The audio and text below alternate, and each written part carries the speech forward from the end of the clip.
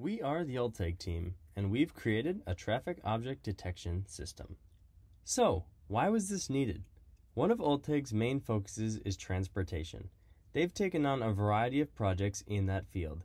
However, lots of data insights need to be gathered for these projects, including the locations of road signs, traffic lights, and much more. Currently, Ulteig survey drivers are in charge of gathering this information by driving around and manually recording the different traffic objects, as well as their location. We were tasked with speeding this process up and making the survey driver's job much easier using modern tools like AI. Our AI system uses a deep learning model from TensorFlow to detect objects frame by frame in a video, as you can see here. This way, survey drivers just need to strap a camera to their vehicle. We trained the model on RoboFlow, a software with many insights and the ability to train on up to 10,000 different images. RoboFlow also has an API tool, which allowed us to easily connect our model to our user interface.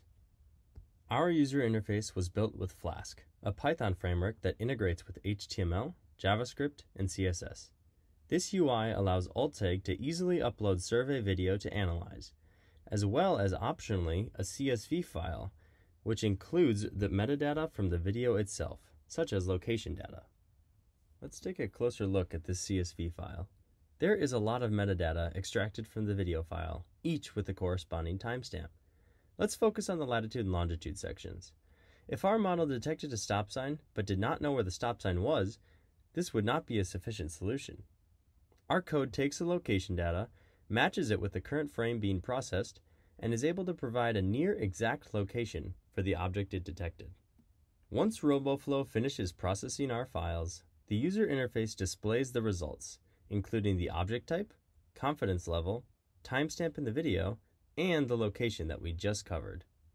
To save these results, the download button downloads a CSV file recording each object recognized, which can easily be imported into any spreadsheet or traffic modeling software.